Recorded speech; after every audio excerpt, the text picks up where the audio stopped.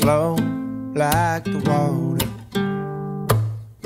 Move a little closer. Slow is how I want you. I don't want it to be over. And if you go,